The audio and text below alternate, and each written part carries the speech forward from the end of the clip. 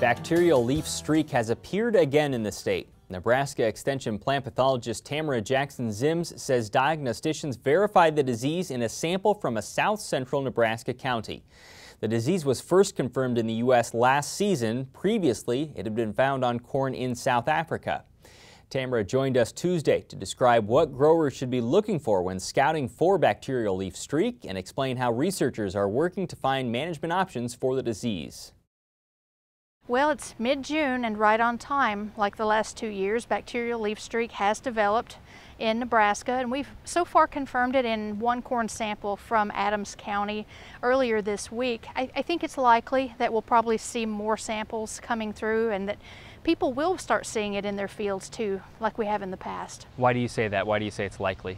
Well, this bacterium does seem to overwinter very well in Nebraska and especially in the residue. And so where people have had it before in some of those fields and counties, I think it's likely we're going to see it again. Tell me what they should look for in those fields. And so the things that I would tell people to watch for are those long, narrow streaks or stripes between the veins on those lowest corn leaves.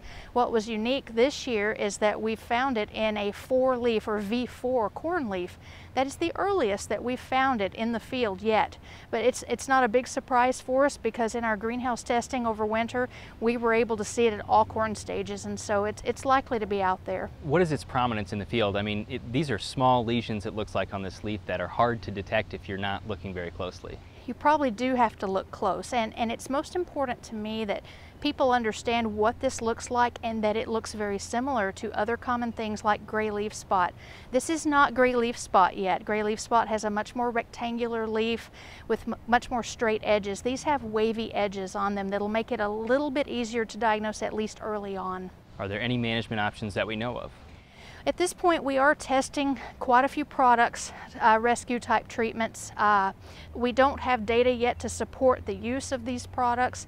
If uh, anyone wants to try something, especially maybe on higher value corn like popcorn, we'd be happy to work with people on it. And there may be a few options, uh, bactericides or uh, some of the disinfestants, but we don't have data on it just yet.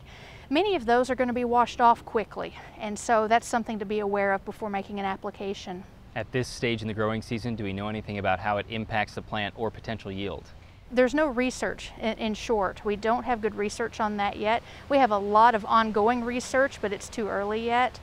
In general, I would say that's going to depend on how much leaf area is affected, much like what you would see with gray leaf spot.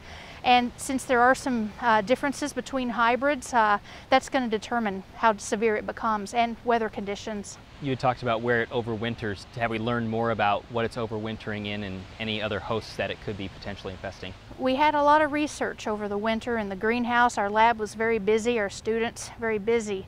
And in the greenhouse testing, it appears that there are at least several species that we know of that look to be susceptible and some of those we should be paying attention to. For instance, uh, some of our foxtail species are susceptible uh, based on greenhouse tests. In addition, we know that oats and oats develop disease in the greenhouse. It's unclear if that's going to be uh, the case in the field. We are doing that testing now. But uh, that's something to watch for in some of our cover crops as well as some of our native grasses like little blue stem, big blue stem, and some others. Can you explain the research that you're doing? Sure. Uh, you know, in the greenhouse, plants grow differently. Their cuticles aren't as thick, and so it's not completely representative of what goes on in the field. But it is the first way that we can get some preliminary data, and so those are the ones that we were most suspicious of.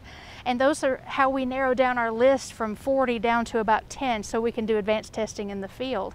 And so we're going to do that now, but uh, those are species I would be watching.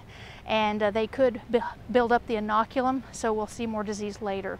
And so uh, that's, that's one trial we did in the greenhouse. Otherwise, we know that long, extended periods of very high humidity also promoted more disease development. And so, uh, but that's not to say that even at lower humidity, we saw some disease development. But if we have extended periods where we've had a lot of rain, we're likely to see more of it.